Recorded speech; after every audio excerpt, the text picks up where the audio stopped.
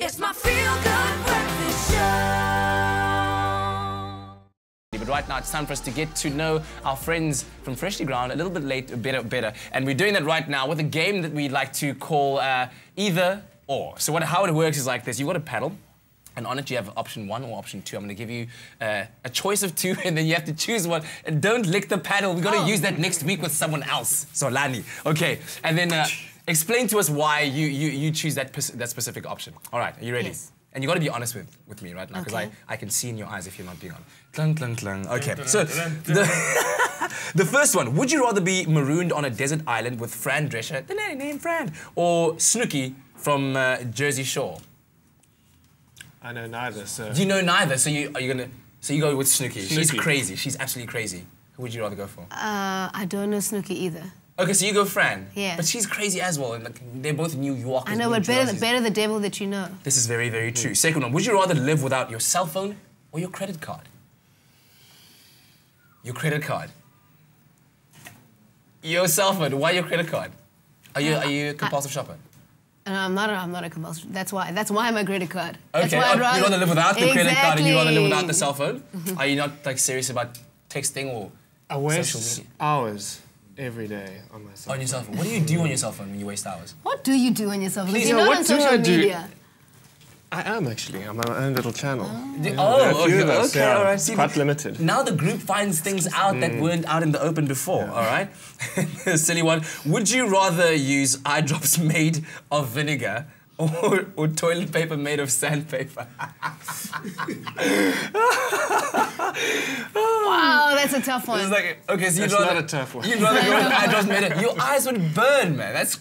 Yeah, but then you can wash your eyes out with water. This is true. Oh, okay, so, okay, all right, For all that right. reason. I gotta fix the sandpaper situation. I don't know, take a while. Okay, here's one. Um, would you rather have to sneeze the entire day but not be able to, or uh, so would be, be stuck with something in your eye for an entire week Sneeze the whole day. but not be able to? So you, so you that You person want will to like, sneeze. Oh, you want to sneeze?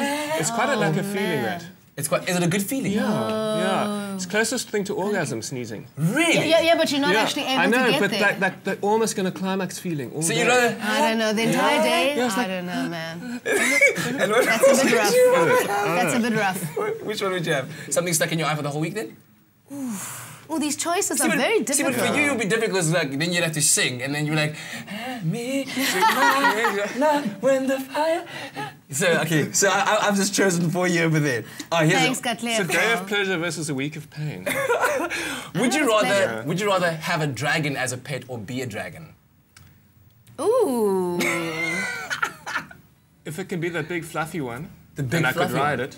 Okay, all right. Never ending story. Yes. Never ending story. That was a dog though. Oh, it was. It's a dog dragon thing, That's wasn't true. it? It was a doggy dragon. But you could pull off a Khaleesi look with the hair, so I'm, I'm, Yes, I I'm totally down with that. All right, so would you rather have no hair on your body at all or be hairy all over your body, not be able to shave?